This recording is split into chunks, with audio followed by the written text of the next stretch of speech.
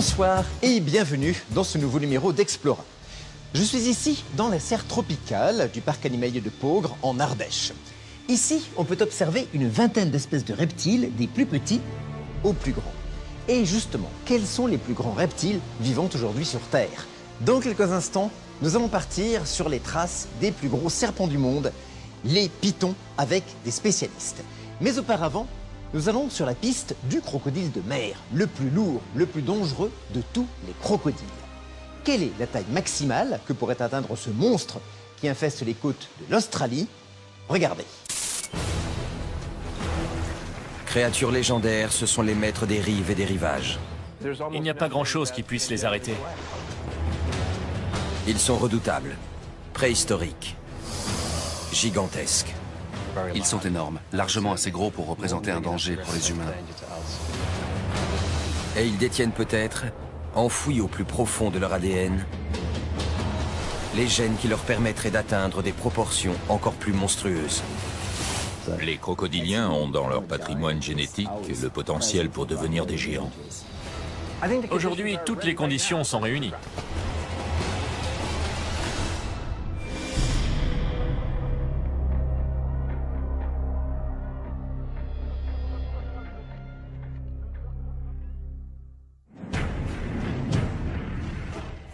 Y a 65 millions d'années, un cataclysme anéantit la plupart des reptiles géants qui peuplent la Terre.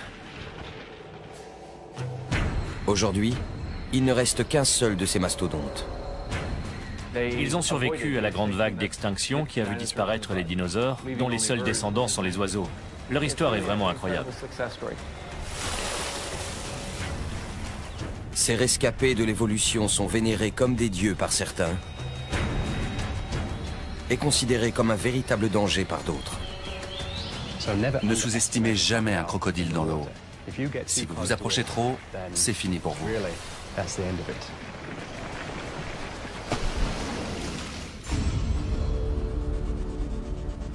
Voici le plus gros reptile du monde.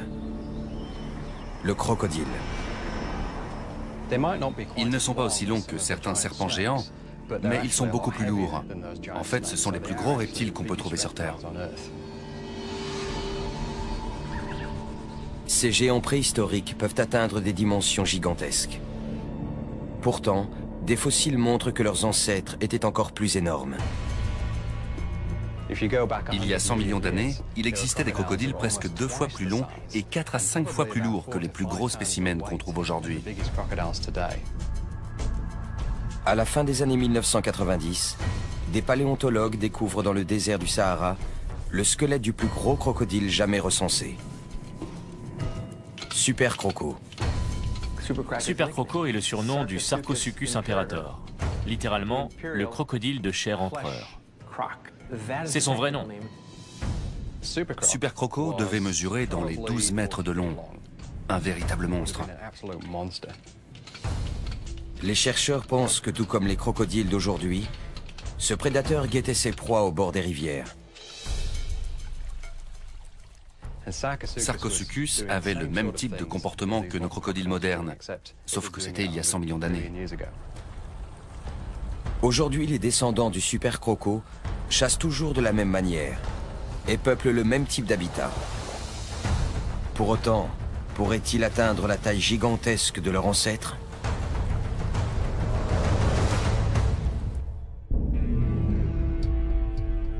Darwin, territoire du Nord, Australie.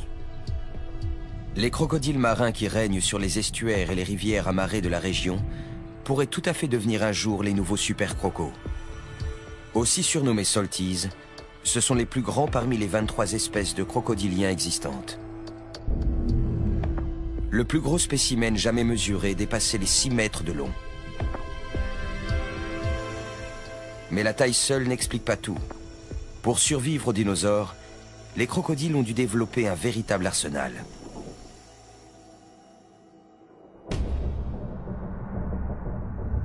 Les salties possèdent une peau épaisse, dont les écailles forment comme une armure. Ils sont dotés de pattes musclées, de solides mâchoires hérissées de plus de 60 dents massives et d'une queue puissante qui représente près de la moitié de leur corps. Autant de qualités qui pourraient leur permettre de devenir un jour des géants. Façonnés par des millions d'années d'évolution, les crocodiles sont programmés pour survivre. Être amputé d'un membre ne leur pose pas de problème. C'est souvent le cas chez les mâles dominants. Ces animaux sont de vrais survivants. Il n'y a pas grand-chose qui puisse les arrêter. On peut les comparer à une Ferrari. Leur corps s'est tellement amélioré au fil du temps qu'on peut dire qu'ils ont atteint une sorte de niveau optimal. Les Salties sont l'archétype du prédateur redoutable. Ils font des victimes humaines tous les ans. Ils sont énormes, largement assez gros pour représenter un danger pour les humains.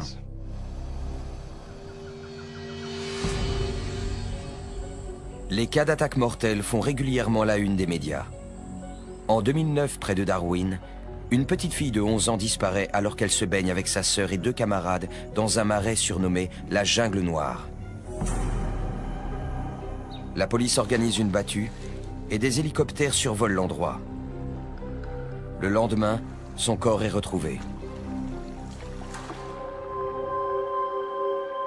Des traces de morsure indiquent qu'elle a été attaquée par un crocodile d'environ 3,50 m. Robbie Risk, spécialisé dans la capture de ces animaux, fait alors partie de l'équipe de recherche. Cet événement a provoqué beaucoup d'émotions. On a mis un jour à retrouver le corps. Et c'est vraiment le genre d'image qu'on n'a pas envie de garder en tête.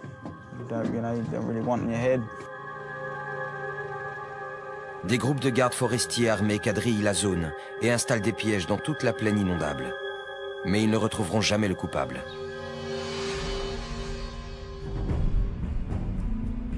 Si de telles attaques sont rares, les Salties font tout de même une demi-douzaine de victimes tous les ans.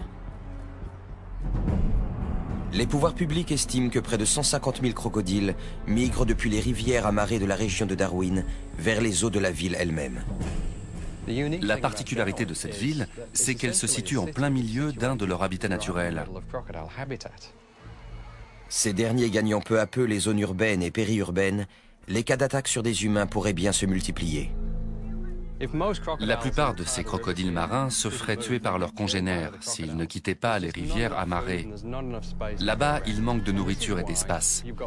C'est pour ça qu'ils remontent les côtes jusqu'à Darwin.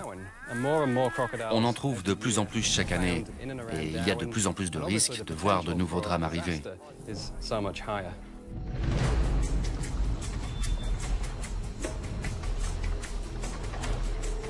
Ici, le risque de tomber nez à nez avec un crocodile est omniprésent. Mais il existe un phénomène encore plus dangereux. Des individus vicieux qui attaquent délibérément. Ces crocodiles n'ont pas un comportement normal et ils représentent un vrai danger. Ce sont souvent des animaux qui ont déjà réussi à attaquer quelqu'un. Ils comprennent à quel point c'est facile et ils essaient de recommencer. Contrairement aux autres, qui ont tendance à fuir les humains, eux vont les traquer. Ces crocodiles sont vicieux. Ils sont comme ça. Ils sautent vraiment sur tout ce qui bouge.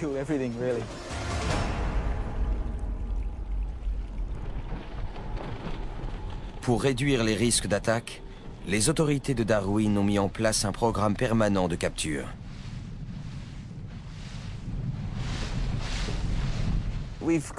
On a pris plus de 170 crocos cette année, contre 140 l'année dernière.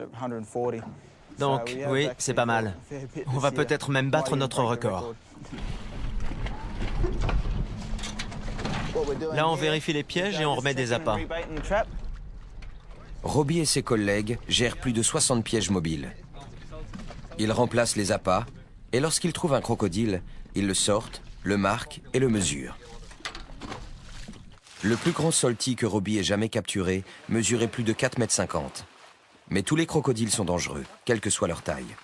Un individu de 3-4 mètres peut vous briser le crâne. Quand on travaille avec des crocodiles, il ne faut surtout pas oublier ce dont ils sont capables. Si ça se passe mal, vous pouvez y laisser une main ou un bras, ou même la vie. Aujourd'hui, Robbie est accompagné d'Adam Britton, un spécialiste des crocodiles. Il recueille leur ADN pour dresser une carte génétique des Salties de Darwin. On prélève des échantillons sur les crocodiles qu'on capture dans le port. Ensuite, on les compare avec ceux qu'on va récolter sur toute la côte nord de l'Australie. On espère que ça nous permettra d'en savoir un peu plus sur l'origine des individus qu'on retrouve à Darwin. La carte d'Adam Britton permettra peut-être un jour de repérer où ces crocodiles géants se reproduisent. Mais pour l'instant, son but est de maintenir la paix entre les humains et les Salties, qui représentent un danger mortel. Ces recherches peuvent nous permettre de comprendre pourquoi ces animaux se déplacent. S'il y a un risque d'attaque, il faut essayer de le réduire. J'espère qu'on va trouver le moyen de sécuriser cette zone. Je pense que ça aiderait les gens à être plus tolérants avec les crocodiles qui vivent en bas de chez eux. Ça, c'est le piège numéro 2 du port de Darwin. Je tire. Voilà, je viens de le tester. Le croco rentre. Et quand il tire sur le morceau de viande, ça actionne la porte. C'est tout. C'est un mécanisme tout simple. Et c'est très efficace. Allez, au suivant. L'équipe va vérifier le piège suivant. Il n'y a aucun moyen de prévoir la taille de leur prochaine prise.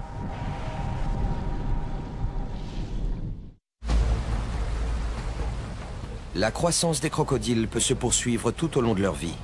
C'est un autre élément à prendre en compte pour déterminer leur taille future.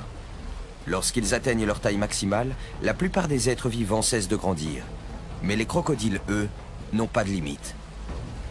Ce phénomène porte le nom de croissance indéterminée. En captivité, les crocodiles ne rencontrent aucune difficulté pour survivre et se nourrir. Ils ont donc une meilleure espérance de vie et peuvent devenir plus gros que leurs congénères qui vivent à l'état sauvage. Ces animaux grandissent jusqu'à leur mort. Il est donc tout à fait possible qu'ils deviennent plus gros en captivité que dans des conditions naturelles. C'est à l'Alligator Farm de Sainte-Augustine en Floride qu'a vécu un des plus gros crocodiles marins jamais recensés. Les responsables du parc l'avaient baptisé Gomek. Mesurant plus de 5 mètres et pesant près d'une tonne, Gomek était devenu l'attraction principale du parc animalier et ses repas attiraient les foules. Aujourd'hui, un autre solti gigantesque du nom de Maximo a repris le flambeau. Il fait plus de 4,50 m et près de 550 kg. Il est très puissant.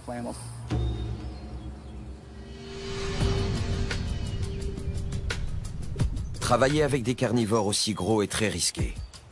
Le personnel du zoo est toujours sur ses gardes. Pour lui, on est des casse-croûtes potentiels, donc il faut faire attention. Il est d'une rapidité étonnante pour un animal de cette taille. On voit sa puissance quand il saute pour attraper un rat. Ça donne vraiment pas envie de s'approcher. La taille de Maximo est sans doute ce qui attire le public. Mais comme pour tous les crocodiliens, sa caractéristique la plus remarquable est son intelligence. Les crocos sont sans aucun doute les plus intelligents de tous les reptiles. Ce sont eux qui ont le cortex cérébral le plus développé. Ils sont beaucoup plus malins qu'on a tendance à le penser. Les crocodiles ont un cerveau de reptile, c'est-à-dire de la taille d'une noix. Pourtant, ils sont extrêmement futés. Ils peuvent faire des choses assez spectaculaires. À l'état sauvage, les crocos sont à l'affût du moindre détail. Ils savent analyser leur environnement et adapter leur comportement. Quand vous arrivez quelque part, vous pouvez être repéré par des crocodiles que vous ne voyez pas et que vous ne verrez jamais. Ils ne vous ont pas vu, mais ils n'ont pas aimé l'odeur de vos vêtements, votre façon de bouger, votre bateau. Ils ne l'avaient pas vu sur la rivière, mais ils ont senti qu'il se passait quelque chose. Vous ne les verrez plus jamais.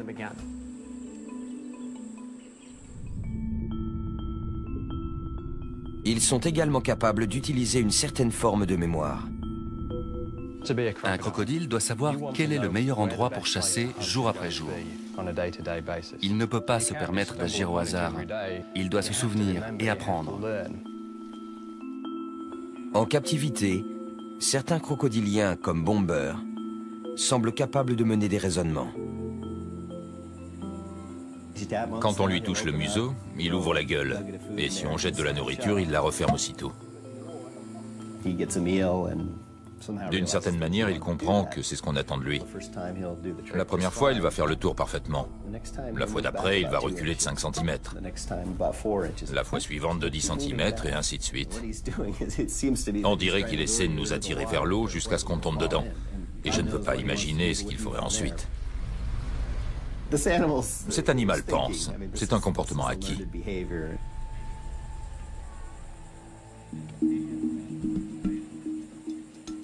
Ces survivants d'un autre âge ne sont donc pas uniquement mus par leur instinct. Et c'est aussi le cas de Maximo. Il a appris à faire son numéro pour le spectacle, et maintenant il sait quelle heure il est. Donc si on vient sur la plateforme à 15h, il commence à faire son tour.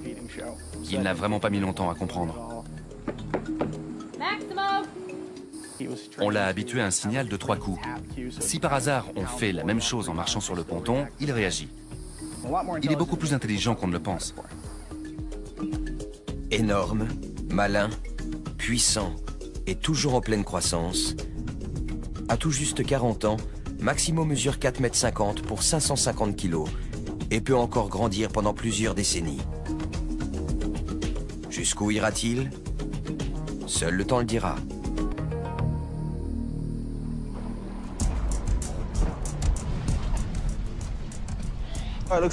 Tiens, on en a un. Il doit faire dans les 2,50 m. Retour à Darwin.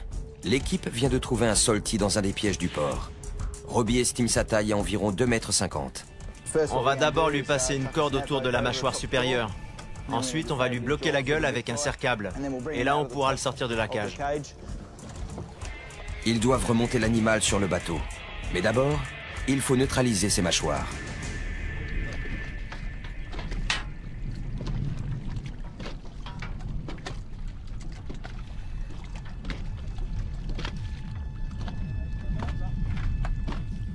Pour lui faire ouvrir la gueule, on lui touche le museau.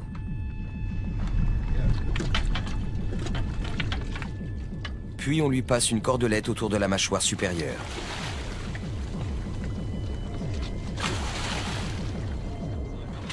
Mais le nœud reste coincé entre les dents de l'animal.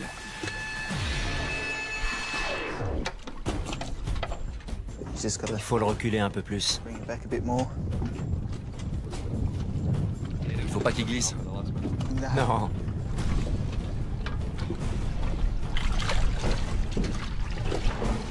Ils réussissent enfin à faire passer la boucle au-delà des dents et à la positionner autour de la mâchoire. Maintenant, je vais monter sur le piège et lui bloquer les mâchoires avec un cercle. Le but est de ne pas avoir à trop s'approcher du croco. Moins il y a d'interaction entre lui et nous, moins il y a de risque de se blesser.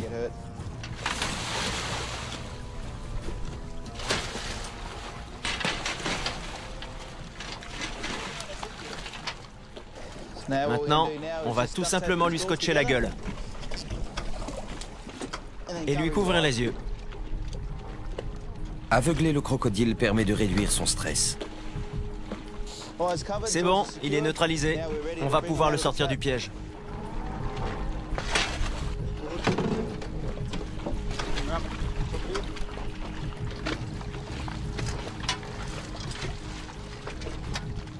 J'attache aussi ses pattes arrière là où il a le plus de force.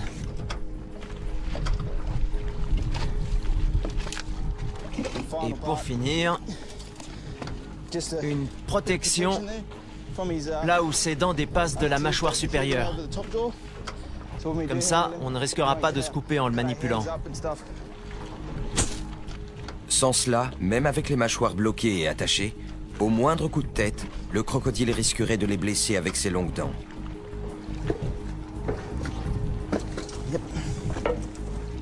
Voilà un solti sauvage de moins dans le port. Robbie et son équipe l'embarquent. Superbe. Une fois le croco bien attaché, les hommes réinstallent le piège, y mettent un nouvel appât et continuent leur inspection.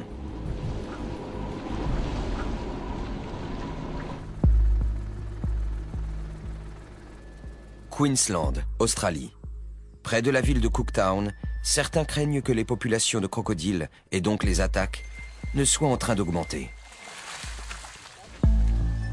En 2005, un spécimen de près de 4 mètres a tiré un pêcheur de son canoë avant de le tuer. Les gardes forestiers ont réussi à identifier l'animal et l'ont abattu. Plus récemment, en 2008, un homme de 62 ans était parti relever ses casiers à crabes sur les rives de l'Endeavour River. Ne le voyant pas revenir, sa femme a appelé les secours. Une fois sur place, ceux-ci ont trouvé des traces indiquant que quelqu'un avait été traîné sur la berge. Les recherches menées dans toute la zone ont ensuite permis de retrouver une des sandales et la montre du mari. Ce n'est que des semaines plus tard que l'on a découvert les restes de l'homme dans l'estomac d'un crocodile de 4,20 m. Selon les experts, ces attaques sont des accidents isolés, mais certains riverains s'inquiètent. Si les crocodiles continuent à coloniser des zones habitées, il est inévitable que de tels drames se reproduisent.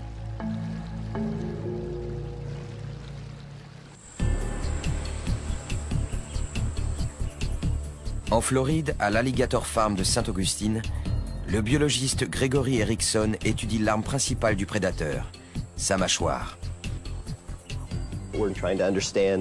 On essaie de comprendre comment ces animaux fonctionnent, comment leur musculature et la mécanique de leur mâchoire leur permettent de générer de telles forces de morsure, et quel rôle joue la forme et la taille de leurs dents?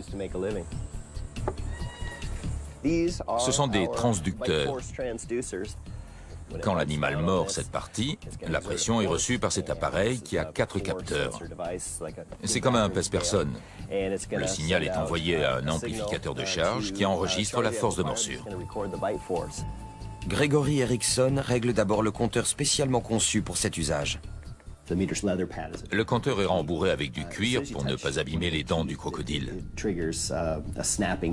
Dès qu'on touche l'une d'entre elles, il a le réflexe de claquer la gueule, et ce le plus fort possible. Le système permet d'enregistrer instantanément cette force maximale. Je ne sais pas vraiment ce qu'il va faire. Le crocodile du Nil n'est pas un animal très commode.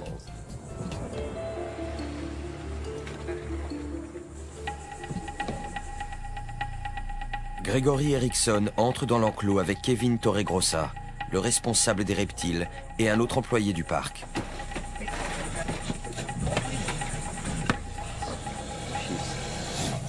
Il est furax.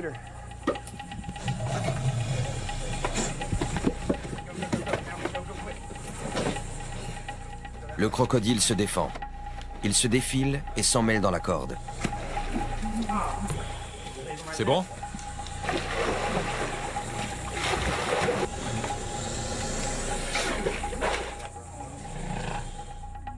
L'équipe parvient enfin à sortir l'animal de l'eau et à le poser sur la planche d'examen. On va l'attacher. Pendant que je lui appuie sur les mâchoires, tu vas aller lui maintenir sur la planche avec la perche. Et on va aller lui scotcher.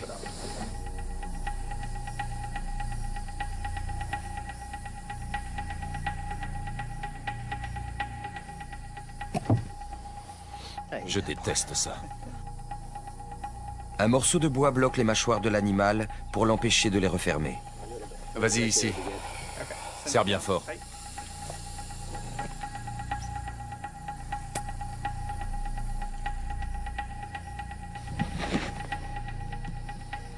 Je vais utiliser de la résine. C'est quasiment la même matière que celle que votre dentiste utilise dans son cabinet. Avec les empreintes, je vais reproduire les dents les plus proéminentes de ce crocodile. Ne faites pas ça. Pas avec votre croco. Ni même votre chien. Avant de relever la force de morsure, Gregory Erickson prend des empreintes dentaires. En faisant des modelages, on peut ensuite faire des moules, puis des répliques. À partir de là, on peut calculer la pression qui s'exerce au bout des dents. Mais on ne sait vraiment pas comment elle fonctionne. C'est ce qu'on essaie de découvrir.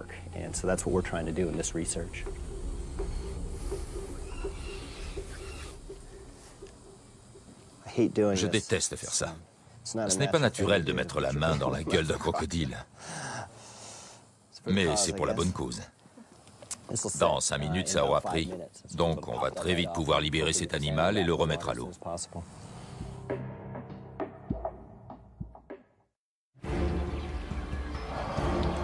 Autre élément à prendre en compte dans l'évolution de la taille des crocodiles, leur talent de prédateur. Les crocodiles chassent à l'affût. Ils s'approchent sans bruit et attaquent très vite. Ils peuvent se cacher en laissant juste leurs yeux et leurs narines dépasser de l'eau. Leurs proies ne s'attendent absolument pas à ce qui va leur arriver. Les crocodiles maîtrisent parfaitement leur environnement. Pour chasser, ils se contentent souvent d'attendre. Tous les animaux ont besoin de boire. C'est de la livraison à domicile. Il suffit juste d'être capable de les attraper. Peu importe qui s'approche du bord. Les crocodiles s'en fichent tant que ça se mange. Seuls leurs yeux, leurs oreilles et leurs narines dépassent de l'eau. Leurs sens très développés leur permettent d'approcher leur cible alors qu'ils sont immergés. Ils ont des capteurs de pression au niveau des mâchoires, grâce auxquels ils détectent les mouvements dans l'eau. Ils ont un excellent odorat. Ils peuvent sentir leur proie de très loin, probablement plusieurs kilomètres. Et leur oui est meilleur que la nôtre à basse fréquence. Ils sont capables d'entendre des bruits de pas ou un animal bouger dans l'herbe. Idem pour la vue. Ils perçoivent toutes les couleurs et ils ont une très bonne vision nocturne.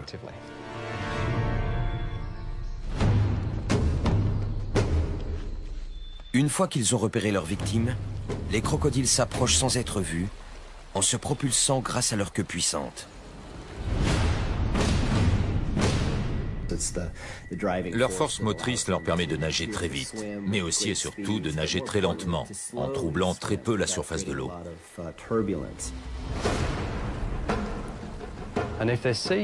Quand ils voient un animal sur la berge, ils nagent sous l'eau un moment pour s'approcher.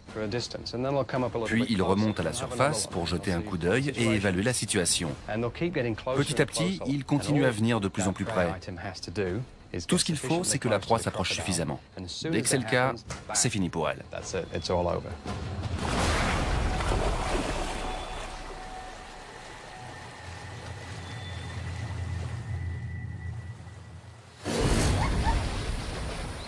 Les crocodiles attaquent par surprise. Ils saisissent leur victime avec une force herculéenne et la tirent dans l'eau pour la noyer. Parfois, ils entament une sorte de danse de mort. Parfois, les crocodiles se mettent à tourner sur eux-mêmes pour désorienter leur proie. Ils peuvent la démembrer comme ça. Dans ce cas, elle meurt d'hémorragie. Mais dans l'idéal, ils essaient de la noyer. Dès ce moment-là, leur repas est assuré.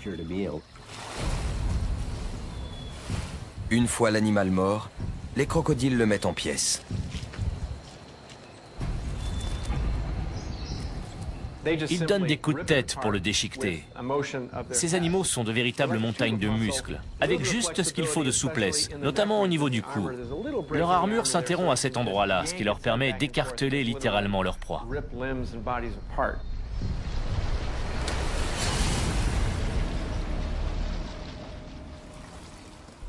Pour avaler, ils cèdent de la gravité.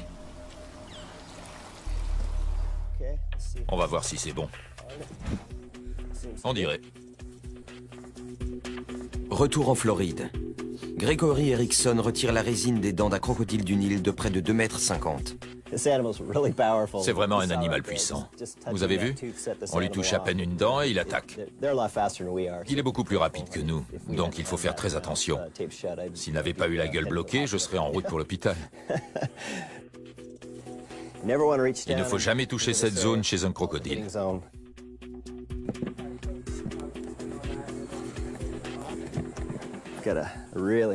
Voilà un très beau moulage des dents molariformes. On va les emporter au labo et fabriquer des répliques.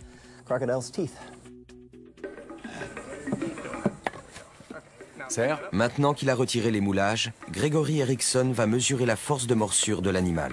Vas-y. Raté. Raté. En fait, le croco a vu la barre. Il réessaie pour obtenir un impact plus direct. Bien. 170. Il commence un peu à fatiguer. On n'aura sûrement pas mieux. Une force de plus de 170 kilos. Avec toute son énergie, ce crocodile serait capable de faire encore plus. Et la puissance de sa morsure ne fera que croître avec lui. Je l'ai.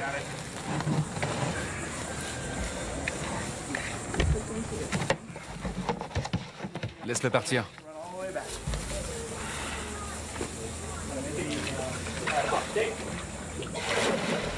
Bien joué. Et voilà. À peine libéré, le crocodile file se cacher. Gregory Erickson va emporter les moulages, les relevés des morsures et les mesures au labo pour les analyser.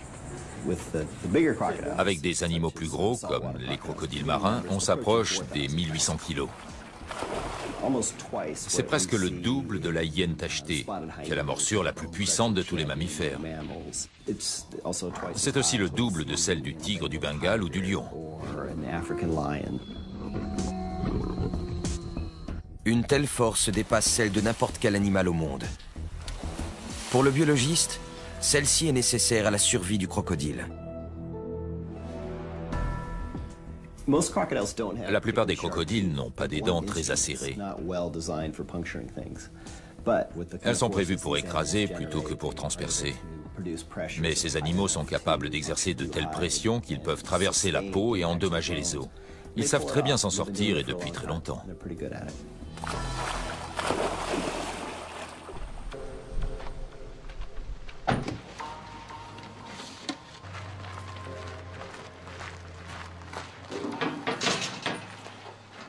Retour à Darwin.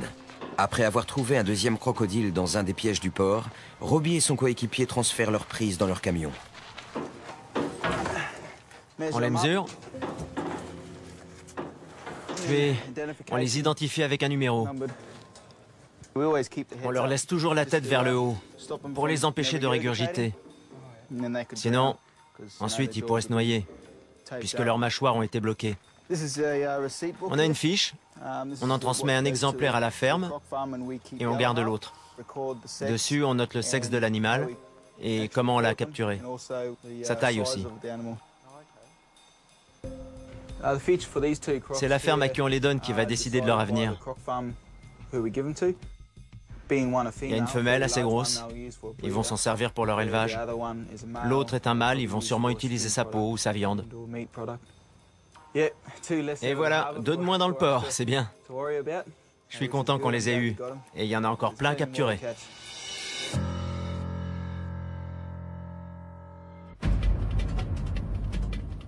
Un autre élément à prendre en compte pour déterminer l'évolution possible des crocodiles est leur capacité d'adaptation exceptionnelle. Ils peuvent se nourrir d'un grand nombre d'espèces, du petit poisson au gros mammifère, comme le kangourou.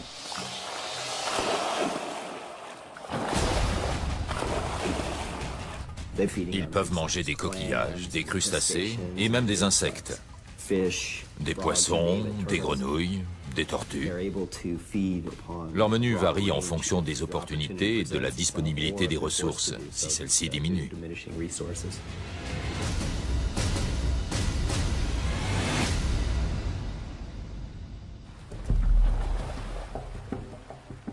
Les crocodiles peuvent aussi s'adapter à leur environnement surtout s'il repère une source de nourriture abondante. Quand un crocodile voit une occasion de chasser, il va revenir le lendemain. Si le cas se répète, il va encore revenir le surlendemain. Il va très vite retenir que c'est l'endroit où aller pour avoir une bonne chance de manger. Mais il y a mieux. Ces animaux sont capables de se repérer dans le temps. Par exemple, ils vont intégrer que telle espèce de poisson fait sa migration en septembre, ou telle espèce de mammifère en avril, et que c'est donc le meilleur moment pour les chasser. 15 jours avant, vous pouvez être certain de les voir eux-mêmes commencer à migrer vers la zone concernée. En l'absence de nourriture, les crocodiles peuvent passer des mois sans manger. Et quand ils rompent enfin leur jeûne, ils utilisent leur énergie de la manière la plus efficace possible en la consacrant à leur croissance. cette formidable capacité d'adaptation leur a permis de survivre quand d'autres espèces se sont éteintes. Aujourd'hui, ce sont les derniers vrais gros reptiles existants sur Terre. Mais récemment, la mise au jour de fossiles a montré que par le passé, des crocodiles encore plus gros ont existé. Dans les années 1990, le paléontologue Paul Sereno et son équipe de chercheurs ont réalisé la découverte de toute une vie. Le Sarcosuchus imperator. Super croco. Il y a une quinzaine d'années, je suis allé dans le Sahara. C'était une expédition passionnante et très difficile à mener. C'était comme ouvrir la boîte de Pandore des dinosaures. Mais la vraie découverte, ça a été celle des crocodiles. Le tout premier os que j'ai trouvé appartenait à Super Croco. Ensuite, on a trouvé son crâne. Imaginez, tomber sur un crâne de plus d'un mètre 80, plus grand que vous quand vous vous allongez à côté, et comprendre que c'est celui d'un crocodile. C'était incroyable. On n'en revenait pas.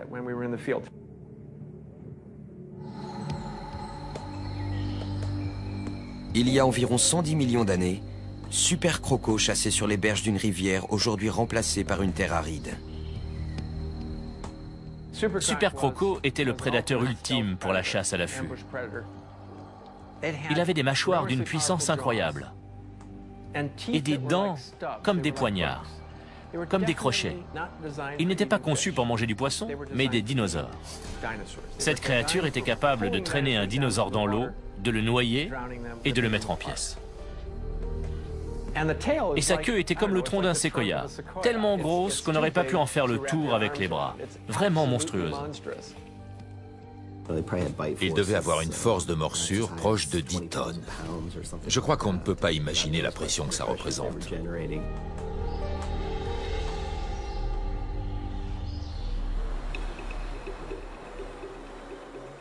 Dans son laboratoire de l'Université de Chicago, Paul Sereno n'en finit pas de s'émerveiller devant le crâne fossilisé de Super Croco. C'est le crâne de crocodile géant le plus complet qu'on ait jamais trouvé. Il fait 1m80 de long et pèse plus de 300 kg. Voilà l'arrière. Et là, ce sont les deux orbites. Elles sont un peu proéminentes. Ça, c'est le museau avec cette grande ouverture pour les narines. Cet animal était un véritable arsenal de dents. Voilà la racine, et la partie foncée, c'est la couronne, celle qui dépassait. C'était une dent de remplacement, donc elle était principalement à l'intérieur de la gencive. Quand on la place dans le crâne, on s'aperçoit que le museau était littéralement hérissé de dents. Il y en avait tout le long, de chaque côté. Elles étaient remplacées dès qu'elles étaient cassées ou usées. Rien qu'à partir de ça, on en sait beaucoup sur ce qu'il mangeait. Et ce n'était pas du poisson.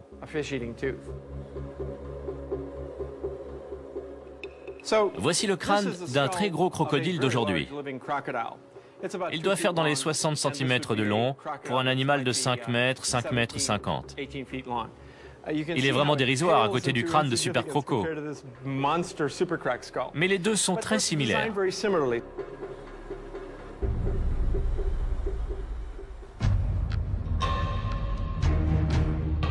Quelle taille faisait donc Super Croco? Il devait faire environ deux fois la taille des plus gros crocodiles marins et sûrement dix fois leur poids. On pense qu'à l'âge adulte, Super Croco devait mesurer dans les 12 mètres de long, soit la taille d'un bus. Quant à son poids, je dirais dans les 8 tonnes. Le plus gros crocodile à avoir jamais vécu sur Terre.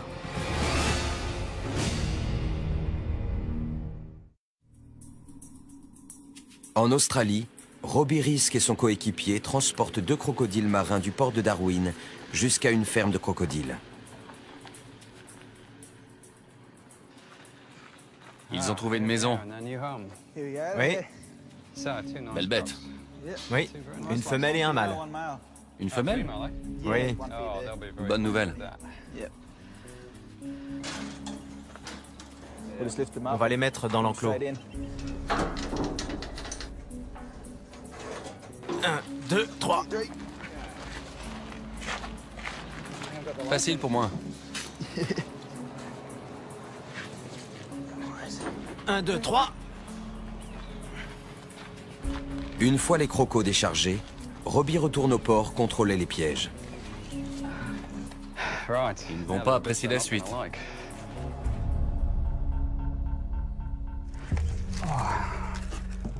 On y va. Je vais prélever un échantillon sur ce crocodile. Adam Britton espère trouver le matériel génétique nécessaire pour compléter sa carte de la population des crocodiles de Darwin. Même là, dans le cartilage, il y a du tissu génétique. Je vais utiliser une de ces aiguilles à biopsie pour prélever un petit morceau que je mettrai dans un flacon. Ensuite, on analysera le tissu pour voir si on peut déterminer d'où vient ce crocodile. C'est la première fois que je fais ça.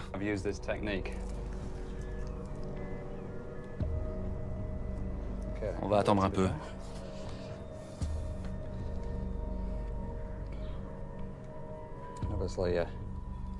Bien sûr, ça doit piquer un peu. Mais les crocodiles, ils ont la peau dure.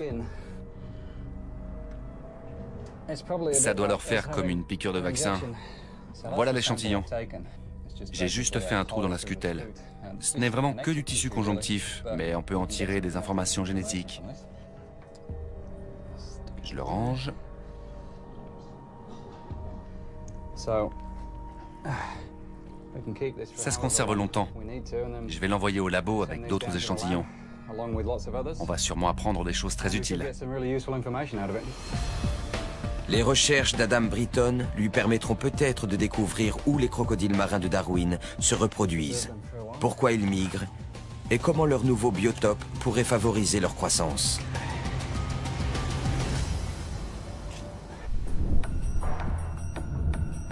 Avec leur physique à toute épreuve, leur art de la prédation, leur croissance indéterminée et leur incroyable adaptabilité, les crocodiles marins pourraient-ils être les super crocos de demain? Aujourd'hui, toutes les conditions sont réunies. Un climat chaud et un réseau fluvial suffisamment important pourraient abriter un crocodile géant. La température est un paramètre favorable. Ces animaux ont un métabolisme lent, mais si le climat se réchauffe, ils mangeront beaucoup plus et ça favorisera leur croissance. Des températures en hausse et des proies plus grosses pourraient donner des crocodiles encore plus gros. Si des proies de grande taille viennent près des rivières, il est possible et même probable que des crocodiles géants réapparaissent. Mais d'après les experts, l'élément essentiel pour devenir un super croco, c'est une longue adolescence. La croissance des super crocos ne commençait à ralentir que vers l'âge de 35 ou 40 ans. De nos jours, c'est entre 12 et 15 ans que ce ralentissement intervient. Les crocodiles géants atteignaient leur maturité très tard et vivaient beaucoup plus longtemps. Comment faisait-il pour atteindre 12 mètres de long? Est-ce qu'il grandissait plus vite ou sur une période plus longue? Réponse B. Ces géants grandissaient à un rythme similaire à celui des crocodiles d'aujourd'hui. Ils n'allaient pas forcément plus vite, mais leur adolescence durait plus longtemps.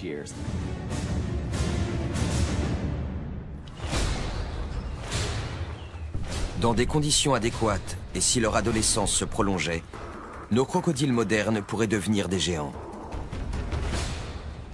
La taille est ce qu'il y a de plus facile à faire évoluer. Un ou deux gènes qui changent, une ou deux glandes qui sécrètent une hormone à tel ou tel moment, et le corps se met à grandir. C'est déjà arrivé sept ou huit fois dans l'évolution des crocodiliens. À une époque donnée, ils pouvaient atteindre 10 mètres, voire plus. Ils ont dans leur patrimoine génétique le potentiel pour devenir des géants. La vie n'est pas constante, elle change. Rien n'interdit de penser que d'ici quelque temps, un crocodilien aussi formidable que Sarcosuchus puisse revivre.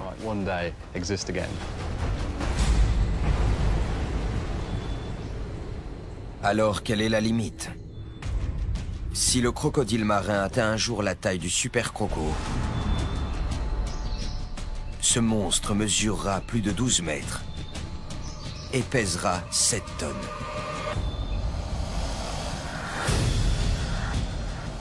Sa queue mesurera près de 5 mètres de long, son crâne presque 2. Ses mâchoires hérissées de dents longues comme des pieux pourront exercer une pression de plus de 9 tonnes.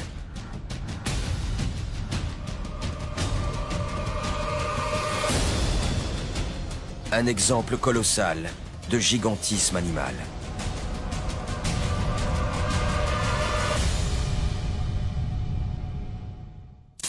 Quel monstre Espérons que le crocodile de mer n'atteigne jamais cette taille. Aujourd'hui, l'espèce n'est pas menacée, elle est même protégée. Il en existe 200 000 à 300 000 individus en Asie du Sud-Est, qui constituent bien sûr, malheureusement, une menace permanente pour les pêcheurs et les baigneurs. La soirée continue avec un autre animal très impressionnant, le python. Marianique, bonjour. Bonjour. Quel est ce serpent? C'est un python moulure albinos. C'est un garçon ou une fille? Il a quel âge? C'est un garçon et il a 10 ans. Est-ce qu'il va encore grandir? Oui, les serpents, ça grandit toute leur vie. En général, les pythons, c'est des gros serpents et c'est des serpents qui peuvent aller de 8 à 10 mètres. 8 à 10 mètres Ah oui. Pour un poids à peu près euh, jusqu'à 120 kilos. 120 hein. kilos Oui. Alors ces pitons moulures, leur habitat naturel, c'est l'Asie du Sud-Est. Malheureusement, plusieurs spécimens ont été relâchés malencontreusement en Floride, où ils font des ravages, s'attaquant notamment à la nourriture des alligators. Nous allons partir sur leur trace, sur la trace également du python réticulé, le plus grand de tous les pythons. C'est un document impressionnant, regardez. Ce sont des monstres de légende. Ils peuvent atteindre des tailles incroyables. Ils sont tellement puissants. Des tueurs. Qu'est-ce qui vous arrive Notre serpent est allé dans le lit du bébé et il l'a étranglé. Leur appétit est insatiable. Aujourd'hui, un gigantesque fossile. Ce serpent devait être aussi long qu'un bus. Et un habitat idéalement adapté. Ça y est. C'est bon, je le tiens. Pourrait bien dévoiler les secrets de serpents encore plus énormes. Quand on voit un python sauvage dans les Everglades, on a intérêt à jouer au plus fin si on ne veut pas se faire dévorer vivant.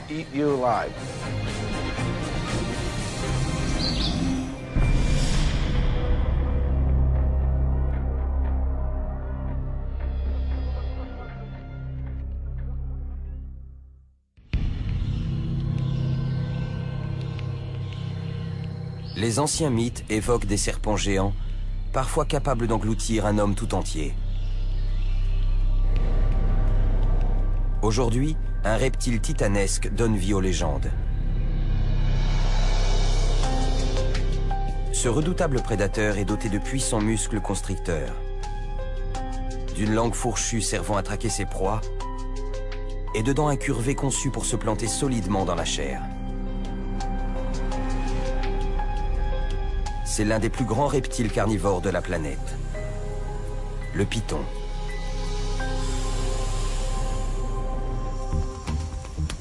Certaines espèces de pythons mesurent plus de 6 mètres de long et pèsent des centaines de kilos. Le record mondial est détenu par un python réticulé d'une longueur de près de 10 mètres. Toutefois, des récits mentionnent l'existence de bêtes encore plus imposantes. En Indonésie, en 2003, un serpent fait la une des journaux.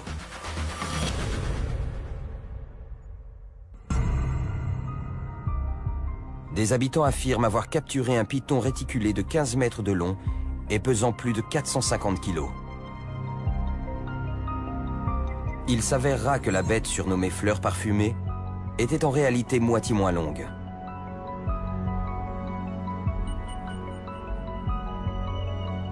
Beaucoup cependant s'interrogent. Verra-t-on réellement un jour un python de 15 mètres ramper sur la surface de la Terre? L'animal lui-même nous fournit des éléments de réponse. Ses talents de prédateur et sa croissance illimitée, conjugués à l'accroissement des proies et au réchauffement climatique, nous donnent une idée de la taille qu'il pourrait un jour atteindre.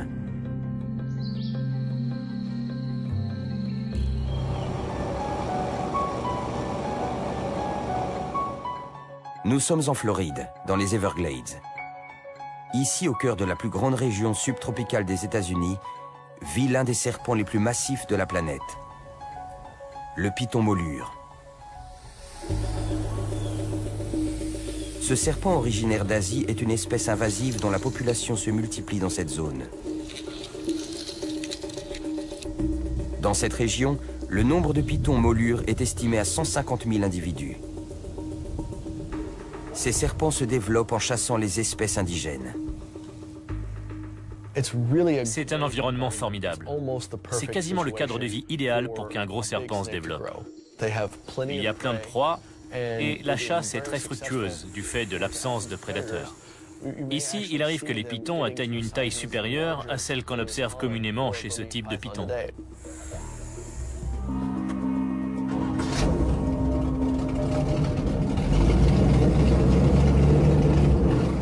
Le biologiste Joseph Wasilewski est l'un des principaux acteurs de la lutte contre la prolifération de ce reptile.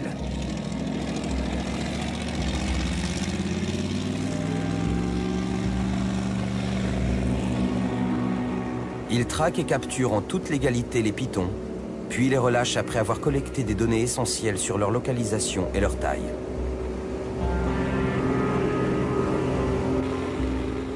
Aujourd'hui, avec l'aide de Johnny Tigertail, membre de la tribu indienne locale des Milozuki et spécialiste de la faune sauvage du parc, Joe s'est donné pour tâche de fouiller les cachettes connues des pitons.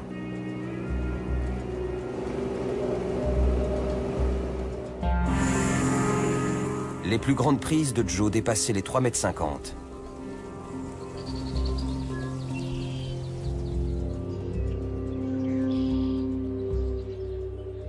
De tels spécimens peuvent peser plus de 45 kg. Leur manipulation comporte un risque mortel.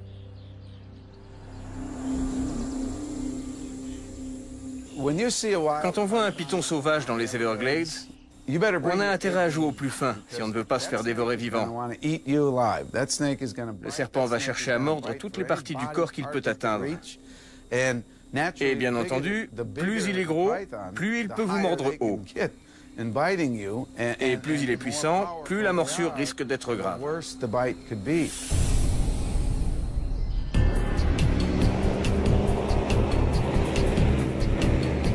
Joseph et Johnny fouillent les îlots boisés désignés ici sous le nom de hammock. Ces derniers constituaient autrefois des abris sûrs pour les espèces indigènes. Aujourd'hui, ils sont devenus les territoires de chasse des pitons.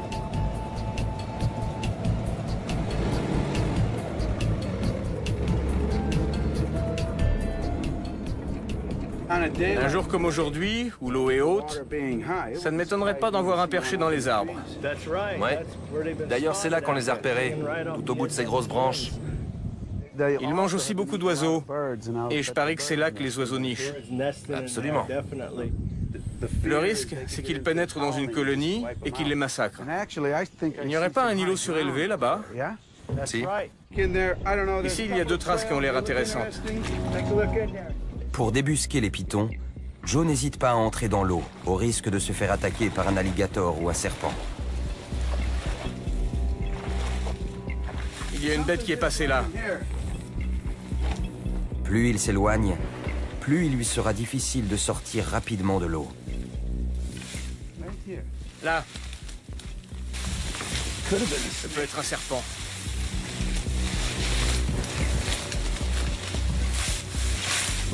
J'ai entendu quelque chose. La végétation est trop épaisse. Joe ne peut poursuivre.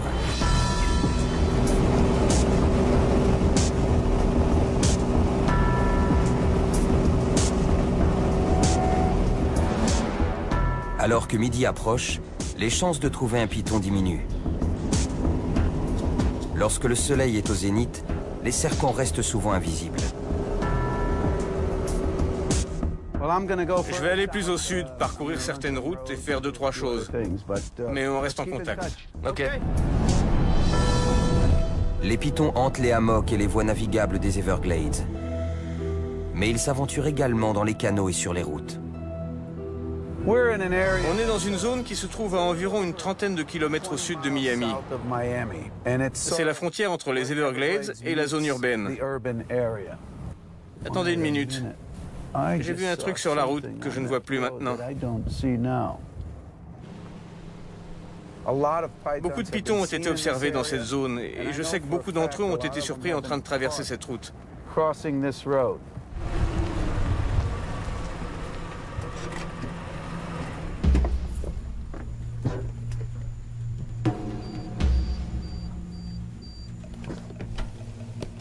Joseph se gare et inspecte le bas-côté. C'est quoi là-bas? Non. Parfois c'est vraiment trompeur.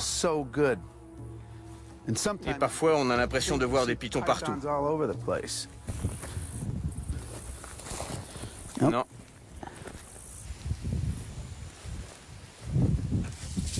Il y en a un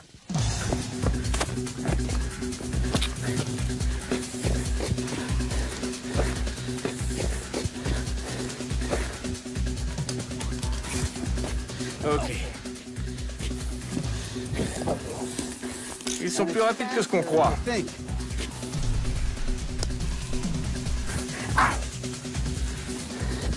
Il faut le maintenir dans un endroit dégagé.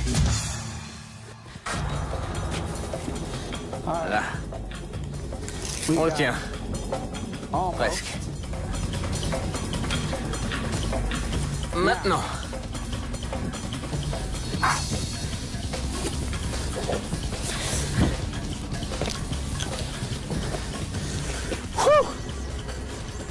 Allez.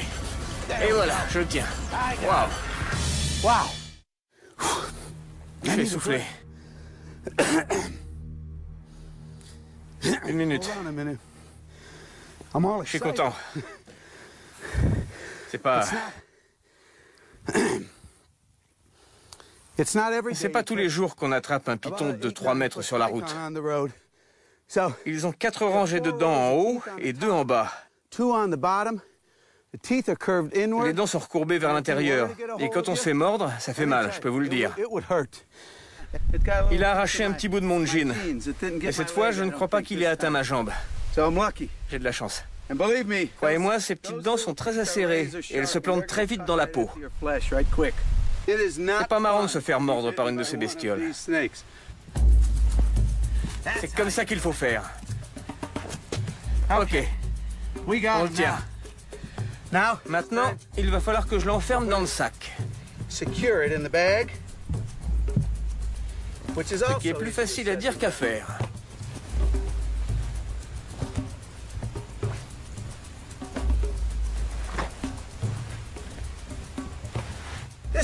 C'est la meilleure façon, la façon la plus humaine de transporter des reptiles. Ils peuvent respirer sans problème. Noir, donc c'est moins stressant pour les serpents d'être dans ces sacs. Et voilà, le piton est enfermé.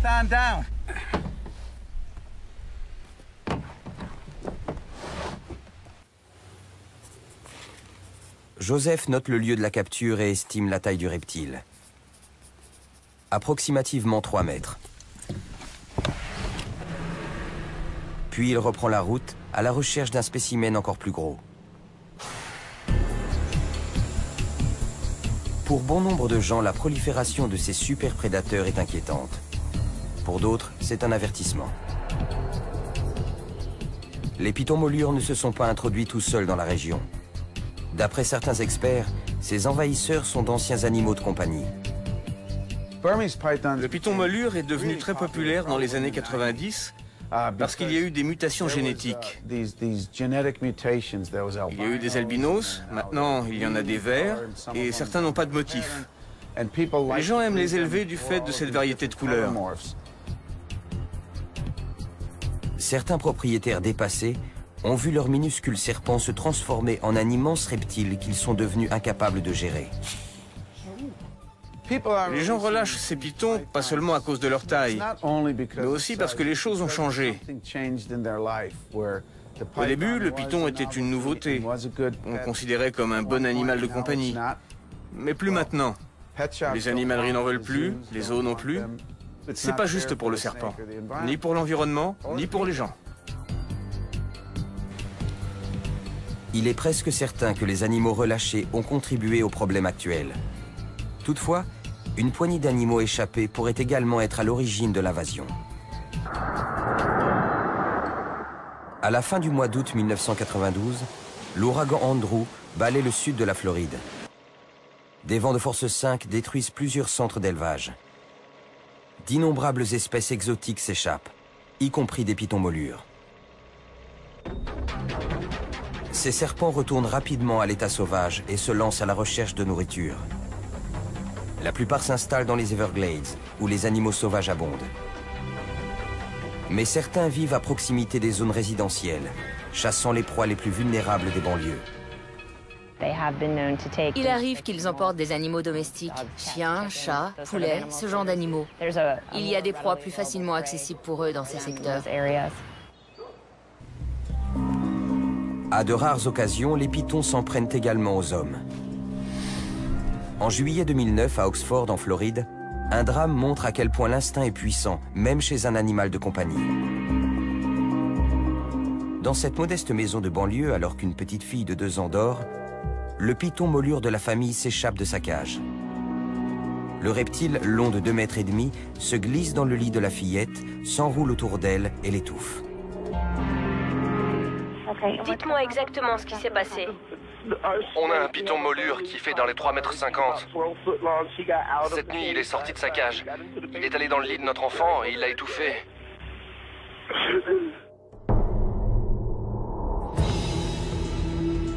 Le drame déclenche de vives réactions. Les hommes politiques et les citoyens concernés lancent un appel d'urgence. Les autorités multiplient les efforts pour régler le problème du python domestique et éradiquer les populations sauvages. Pourtant, ces prédateurs venus d'ailleurs continuent de se propager et semblent bien partis pour rester. Ce sont des champions de la survie. Tout ce qu'ils doivent savoir pour survivre est programmé dans leur cerveau à l'instant même où l'œuf éclot. La survie est programmée dès le tout premier jour.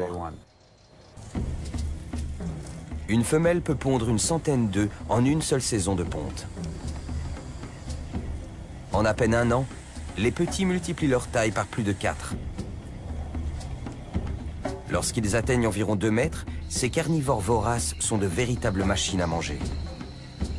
Ils chassent presque tous les animaux vivants, des oiseaux blessés aux reptiles, en passant par des mammifères aussi gros que des cerfs.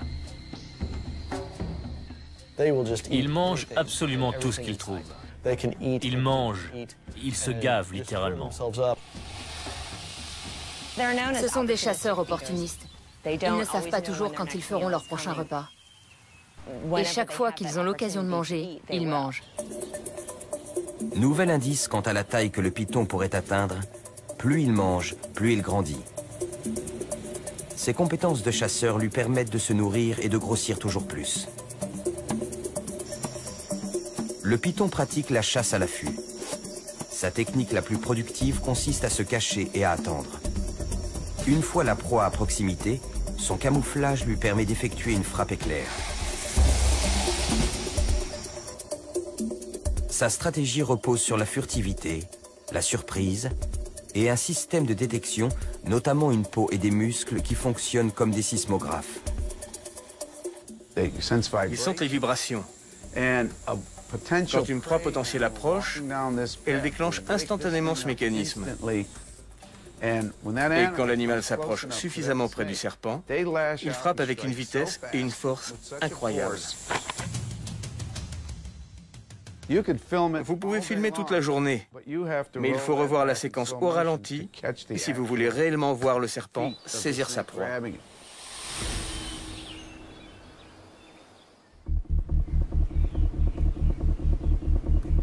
Pour compléter son arsenal, le python possède deux redoutables armes situées au niveau de sa tête. La première se présente sous la forme de fossettes ou capteurs thermosensibles qui enregistrent les mouvements thermiques. En détectant les sources de chaleur, le serpent peut ainsi localiser les proies à sang chaud. La seconde forme un radar encore plus précis. En dardant sa langue fourchue, le serpent collecte les particules odorantes présentes dans l'air. À l'intérieur de sa gueule, un capteur appelé organe de Jacobson analyse l'air, guidant l'animal vers l'endroit où les particules sont les plus concentrées. Une fois la proie localisée, le serpent actionne ses mâchoires et ses dents. L'attaque est foudroyante. Ils ont une centaine de dents et ils s'en servent pour maintenir l'animal. Immobilisant sa proie à l'aide de ses dents acérées, le python resserre son étreinte mortelle. Ils utilisent leur corps, leurs anneaux pour s'enrouler autour de l'animal. Ils le serrent de plus en plus fort. Ils l'empêchent de respirer et l'étouffent. Ils empêchent aussi le sang de circuler. Puis, une fois qu'ils ont maîtrisé la proie, ils l'avalent tout rond.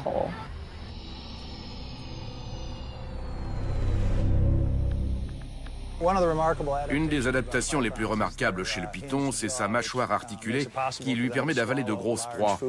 Les serpents ne mâchent pas leur nourriture, ils gobent leur proie. Ses mâchoires inférieures et supérieures sont reliées par des ligaments élastiques qui lui permettent d'ouvrir sa gueule selon un angle de 180 degrés. Les os de la mâchoire inférieure se séparent et le serpent fait descendre progressivement la proie par un long effort de déglutition. Ce python peut avaler des proies trois fois plus grosses que le diamètre de son corps. Une fois que l'animal est en bonne partie rentré dans sa gueule, il contracte ses muscles et le pousse vers son estomac, où se déroule tout le processus de digestion.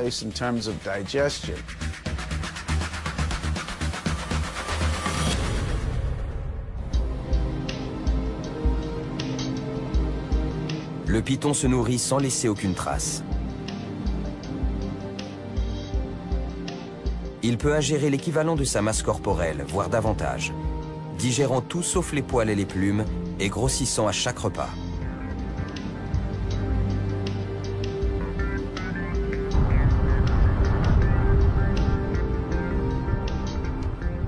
Sur les routes désertes bordant le parc national des Everglades, Joseph est reparti sur les traces du python molure. Il sait que les chances de capture augmentent au coucher du soleil. En général, les serpents se déplacent au crépuscule. Pendant les mois d'été, ils bougent plus souvent. Le crépuscule, c'est leur moment préféré. Le moment de la journée où ils sont actifs. Et s'ils se déplacent d'est en ouest, ils vont traverser cette route. La route conserve la chaleur et les serpents apprécient cette chaleur. Ils l'absorbent. Tout en poursuivant sa route, Joseph garde les yeux grands ouverts. Il ignore quelle sera la taille de la bête qui surgira dans la lumière de ses phares. Oh yeah, je le sens bien là. Euh,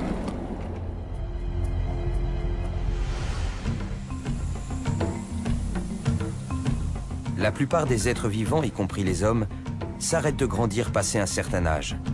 Le python, lui, continue de croître tout au long de sa vie. Il existe plusieurs espèces qui semblent ne pas avoir de taille maximale. Et si un spécimen a la chance de vivre longtemps, il continue de grandir jusqu'à sa mort.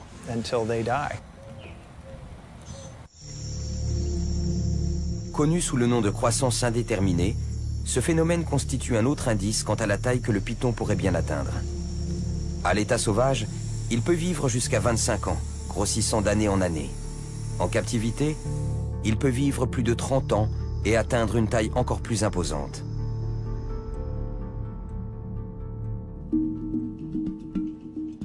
Le programme d'études des pitons captifs mené par le zoo de Columbus, dans l'Ohio, est un véritable observatoire des serpents géants. L'un des pitons les plus longs du monde est sur le point d'être examiné avant sa séance d'exercice. Il s'agit de Fluffy, un python réticulé captif. On a un certain nombre d'espèces de pythons, mais Fluffy est de loin notre plus gros spécimen. Cette femelle détient probablement le record mondial. Né en 1992, Fluffy a été gavé de lapins, de chèvres et de cochons par un éleveur privé. Alimenté par de solides repas hebdomadaires, sa croissance a été spectaculaire. À l'âge de 10 ans, Fluffy était aussi longue qu'un camion et aussi large qu'un poteau télégraphique. Quand elle est arrivée chez nous, elle mesurait 7 mètres. Elle est à peu près aussi longue que trois basketteurs montés sur les épaules les uns des autres. À l'heure de nourrir de puissants constricteurs comme les pitons, le personnel du zoo est toujours prudent. Une bonne façon de procéder est de faire appel à l'intelligence naturelle du reptile. Les pitons sont très intelligents. Ils reconnaissent les gardiens et réagissent différemment face à chacun d'eux.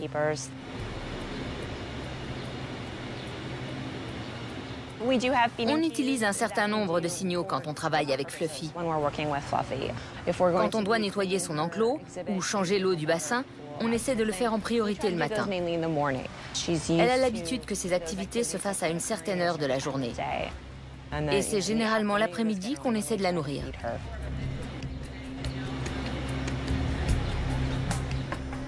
Malgré l'intelligence du python, le risque d'attaque surprise est toujours présent.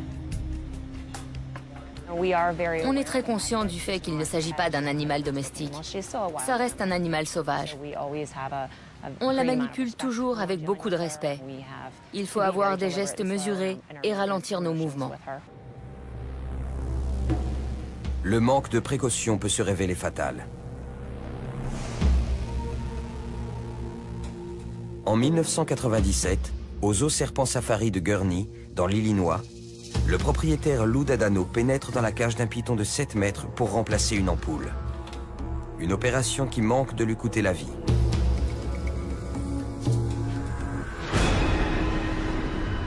Un grand prédateur frappe, s'agrippant à sa jambe et s'enroulant autour de son torse. Atrocement comprimé, son cœur cesse de battre. Mais juste à temps, son collègue et une équipe médicale d'urgence parviennent à le libérer et à le réanimer.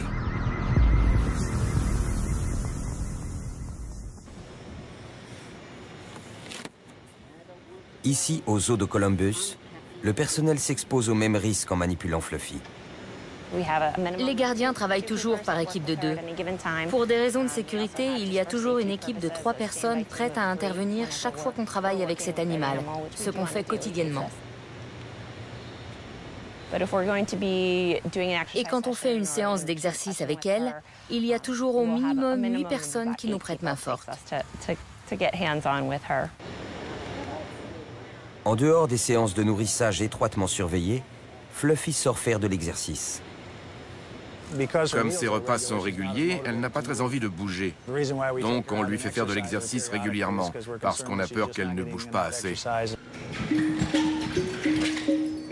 La taille de Fluffy rend les déplacements difficiles. Sa force fait d'elle un animal dangereux. Sous sa peau écailleuse, ses muscles puissants courent sur toute la longueur de son corps. Quand on la porte, on sent tous les muscles de son corps qui se plaquent contre nous, qui nous poussent. On les sent bouger d'un flanc à l'autre alors qu'elle essaie de reproduire les mouvements de reptation. Ses muscles sont très puissants et pourraient facilement nous soulever de terre quand on la manipule.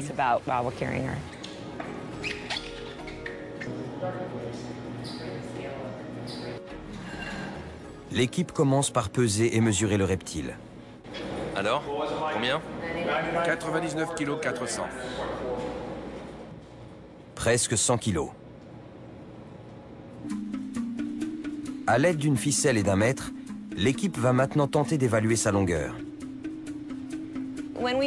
Quand on les mesure, c'est très difficile d'obtenir une valeur exacte sans les anesthésier, parce qu'ils ont des muscles très puissants et qu'ils bougent sans arrêt. Elle ne va pas se tenir tranquille exprès pour nous.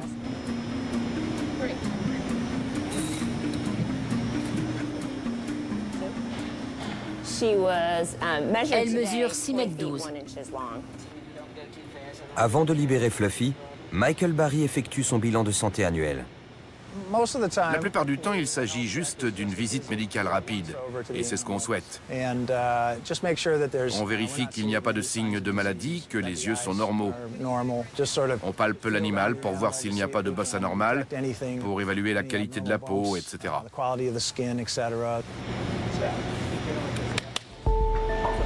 Tout va bien. Enfin, l'équipe lâche Fluffy dans l'enclos des éléphants. C'est un grand espace. Elle peut bouger. C'est aussi l'occasion pour elle d'apprendre. Il y a de nouvelles odeurs.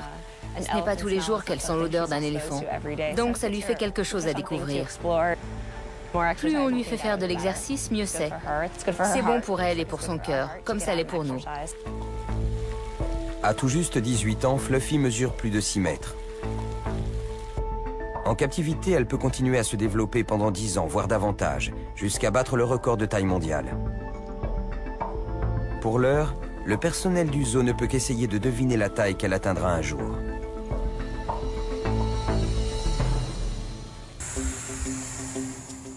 Si l'accroissement des proies, l'amélioration de ses techniques de chasse et son mode de croissance favorisent le développement du python, un habitat hospitalier constitue également un facteur clé, et tout particulièrement la température.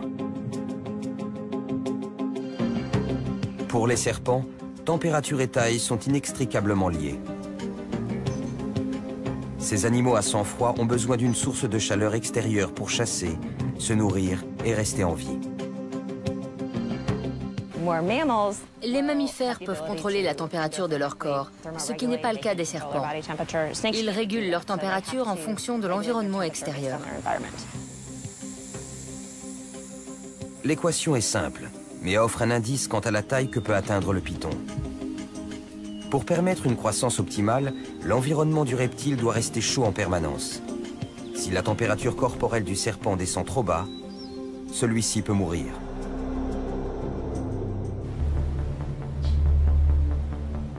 Le python molure prospère dans un environnement aquatique. Si les pythons de petite taille sont de gros grimpeurs et préfèrent souvent s'abriter dans les arbres, les gros pythons, eux, affectionnent l'eau qui leur permet d'accéder rapidement à la proie suivante. Imaginez un animal de 100 kg, sans bras et sans jambes. Pour se déplacer, ce n'est pas une mince affaire. Donc beaucoup de gros pythons apprécient l'eau, ça les rend plus légers. Ils peuvent aller du point A au point B plus vite et en faisant moins d'efforts. Le python peut rester sous l'eau pendant une demi-heure et parcourir plus de 9 km à la nage. Disposant d'un vaste espace, il n'a aucun prédateur naturel. Une fois adulte, il peut se développer librement. Le python molure va même parfois jusqu'à s'attaquer au reptile le plus puissant des Everglades. L'alligator.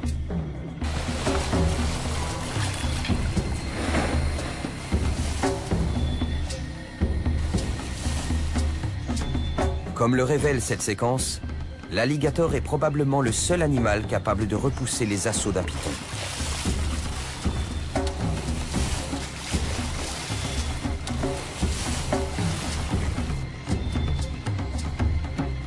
Cette lutte entre prédateurs s'achève sur un match nul. Mais il arrive que les pythons aient le dessus. Dans cette célèbre photographie prise en 2005, un python molure de près de 4 mètres a eu les yeux plus grands que le ventre. Reste à savoir si les pythons et les alligators américains pourront coexister au sommet de la chaîne alimentaire. Mais pour l'heure, les marécages, les marais et les canaux des Everglades représentent un véritable paradis pour les animaux à sang froid comme les pythons. Ceci est un nouvel indice quant à la taille potentielle de ces serpents. Dans un habitat aquatique où les températures sont chaudes, où les pythons adultes n'ont aucun prédateur naturel, ces anciens animaux domestiques pourraient bien atteindre des tailles records.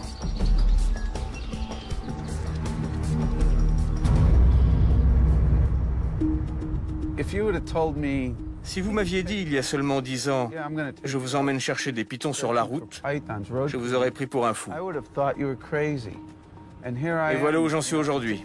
Croyez-moi, un serpent de 3,50 m qui traverse la route, c'est le spectacle le plus étonnant que vous ayez jamais vu. Une nuit, sur le sentier de Tamiami, j'ai attrapé 100 serpents, en une seule nuit. Ah, je vois des choses bouger.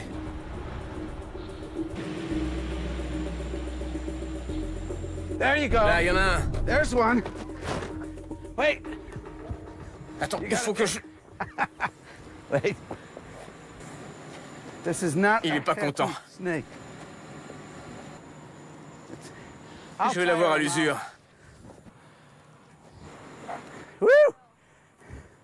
Attends une minute. Ok.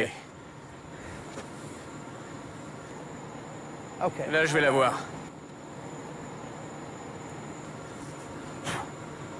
Ça y est, je l'ai. I got him. Okay. That's that's about seven. Il fait dans les 2 mètres 20, 2 mètres 40. Wait. Okay. Woo. Let me Attendez, je sors mon sac. Wow. Donc oui, c'est bien un python molure sauvage. Vous voyez, les dents sont recourbées vers l'intérieur. Il this faut pas se faire mordre. Okay. Bon alors, on avait bien calculé, le timing est parfait. J'étais au bon endroit, au bon moment. Le serpent était au rendez-vous. Maintenant, il faut que je uh, fasse le relevé des coordonnées GPS pour nos archives. uh. E- Chaque fois qu'on attrape un python, on relève les coordonnées GPS. Et on établit une carte à partir du lieu de capture de chacun d'entre eux. L'animal est enregistré. Le sac est bien fermé, tout est parfait. Je crois qu'il est plus proche des 2 mètres to 40. foot range. J'en ai déjà attrapé qui faisait plus de 4 mètres. Caught them over 13 feet. Celui-là, quand il mord, ça doit faire mal. Heureusement, j'y ai échappé.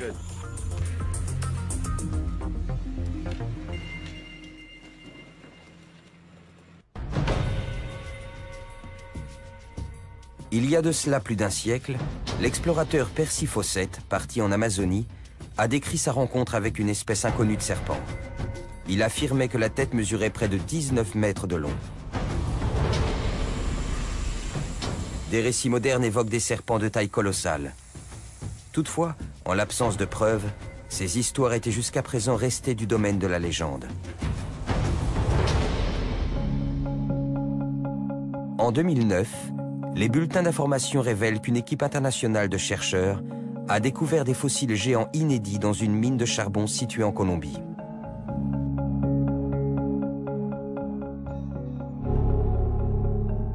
Ces vestiges préhistoriques sont ceux du serpent le plus gigantesque qui ait jamais existé à la surface de la Terre. Ses découvreurs le baptisent Titanoboa.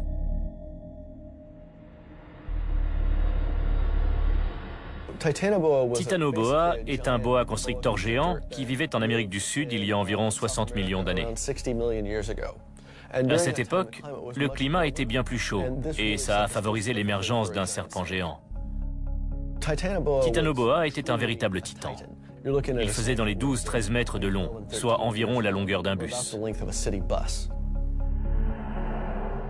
Ce reptile mesurait plus de 12 mètres et pesait plus d'une tonne.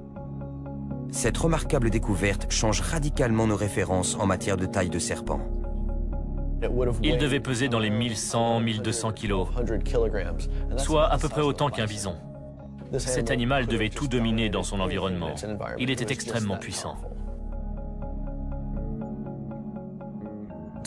Titanoboa est venu chambouler nos repères. C'est le plus grand serpent connu. Mais après avoir découvert un tel reptile, on peut se demander si on ne va pas en trouver d'autres encore plus gros. Titanoboa, c'est seulement une découverte dans une localité. Et il y a tellement de choses qu'on ignore sur le registre fossile des serpents et des lézards. On croit aujourd'hui qu'on ne trouvera pas plus gros. Mais n'est-ce pas une erreur On affirme que c'est le plus grand serpent qui puisse exister et qui sait, dans quelques années, on trouvera peut-être un serpent de 15 ou 16 mètres. Les pitons actuels sont plus petits que Titanoboa. Pourtant, en présence de conditions favorables, il n'est guère difficile d'imaginer d'immenses serpents à l'affût dans les Everglades.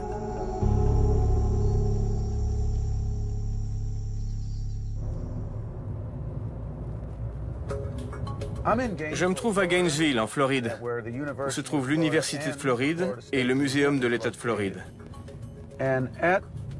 C'est dans ce muséum que les pitons euthanasiés finissent. Sur le terrain, on ne fait que rassembler des données biométriques de base, longueur et poids. Et c'est à Gainesville que tout le travail est fait. Quelques jours après sa chasse au python, le biologiste Joseph Wasilewski a rendez-vous avec l'herpétologue Kenneth Crisco. Ensemble, ils vont procéder à une nécropsie, l'équivalent d'une autopsie pour les serpents. En disséquant l'un des pythons qu'il a capturé, Joe va pouvoir analyser son régime alimentaire et déterminer ce qui favorise sa croissance. Salut, ça va? Ouais, et toi? Ouais. Vas-y. Salut Kat Salut On apporte le python.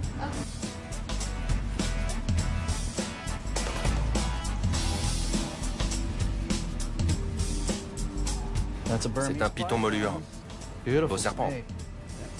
Il est pas mal du tout. Aidés de l'assistance de Kenneth, les deux hommes déplient le reptile. Mesurons d'abord la longueur museau-cloaque. Une telle mesure permet d'évaluer sa catégorie de taille et d'estimer son âge. On a donc 220 cm entre le museau et le cloaque. Tu retiens? Donc 220 cm. Et combien fait la queue? Environ 33 cm pour la queue. Donc 220 plus 33, ça fait plus de 2,50 m en tout. Joli serpent. Ce spécimen de 2,50 m est un jeune adulte, tout juste assez âgé et assez gros pour se reproduire. On va commencer par pratiquer une incision là. Voilà. On descend le long des écailles ventrales. Puis on va ouvrir le corps pour examiner le contenu stomacal. Chez le python molure, pour qu'un nouveau-né se transforme en adulte et atteigne une taille respectable, il faut qu'il ingurgite des centaines, voire des milliers de proies. Il y a beaucoup de tissu adipeux. Pour un jeune adulte, il est plutôt en bonne santé. Là, c'est le foie. En dessous, la matière spongieuse, là, c'est le poumon. Et bien sûr, tout ça est entouré d'un grand nombre de cellules adipeuses. Maintenant, on va donc essayer de séparer ces cellules adipeuses des organes en procédant très très soigneusement. Ça va nous permettre d'accéder directement à l'estomac et à l'intestin. Les voilà. Ah ouais Attention, ne te coupe pas.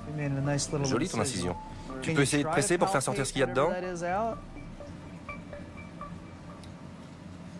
Oh, regardez. C'est quoi ce truc? Un os? Une plume ou... On dirait une plume. Qu'est-ce que t'en dis? Regarde ça. Sachant que le python vient du parc national des Everglades, c'est probablement un échassier. Et bien sûr, tous les échassiers sont des espèces protégées. Ça a un impact? Absolument. Quand on pense au nombre d'animaux qu'un serpent aussi gros doit consommer, rien que pour atteindre cette taille, ce n'est pas une bonne nouvelle. À l'intérieur de l'estomac du python, l'équipe découvre une plume appartenant à une espèce protégée. Celle-ci est conservée pour analyse. Chez ce spécimen, la plupart des proies ont déjà été digérées, mais Kenneth Crisco trouve souvent de nombreux animaux plus grands. Comme le montrent ces photos, en disséquant d'autres pythons, le chercheur a découvert des animaux entiers. Comme cette aigrette relativement intacte, présente dans le tube digestif d'un gros spécimen. Plus les scientifiques étudient ces prédateurs surprenants, y compris les géants préhistoriques comme Titanoboa, plus ils découvrent d'indices sur la taille qu'ils seraient susceptibles d'atteindre. Si de gigantesques serpents constricteurs vivaient autrefois sur la Terre, verra-t-on un jour ressurgir un serpent géant? Combien mesurera-t-il?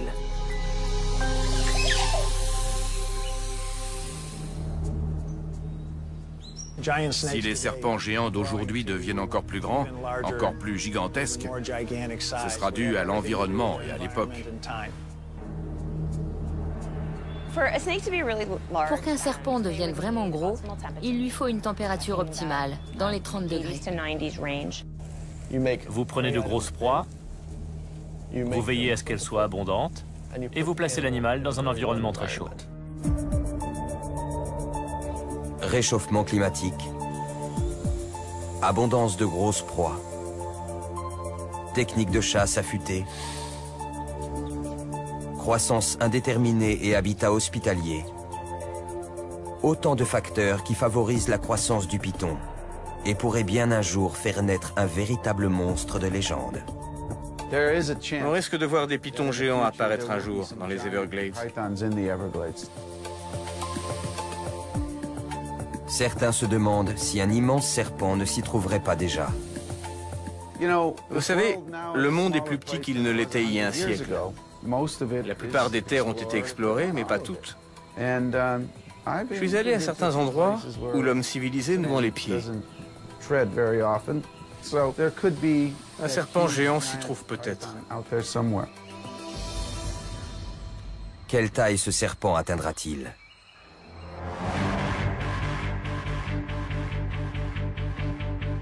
Voici à quoi pourrait ressembler un jour un python ayant atteint la taille de son ancêtre, Titanoboa.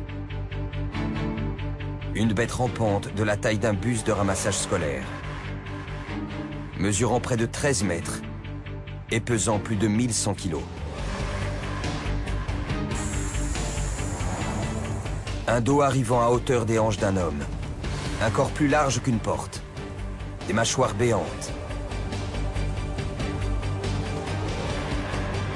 Tel pourrait être le python de demain.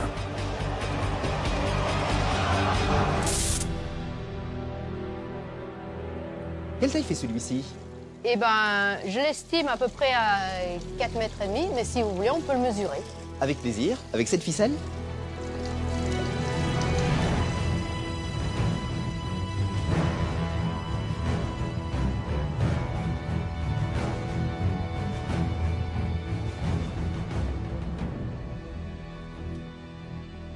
4,48 m.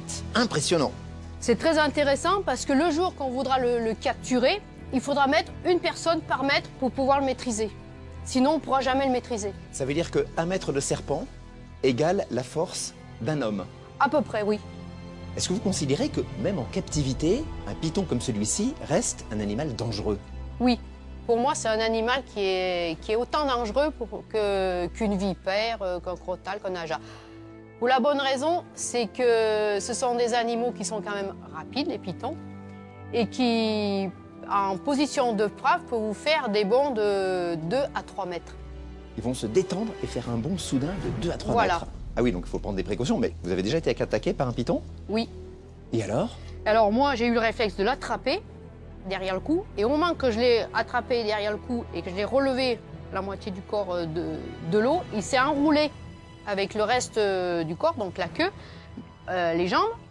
Et j'ai resté comme ça, euh, j'ai pas bougé. Et j'ai attendu. Et puis au bout d'un moment, ils ouvrent un peu pour prendre la respiration et pour en prendre un peu plus. D'accord. Et à ce moment-là, j'ai essayé de me dégager la main. Et quand j'ai me dégagé la main, donc l'autre, elle tenait toujours la tête, je suis dégagée. Et avec l'autre main, je me suis déroulé doucement une jambe, après une autre jambe, et après, je l'ai un peu jeté, peut-être violemment là pour pouvoir ressortir. Waouh Merci beaucoup Marianique, moi j'ai eu suffisamment d'émotions pour aujourd'hui. Explora, c'est terminé, on se retrouve bientôt pour d'autres découvertes.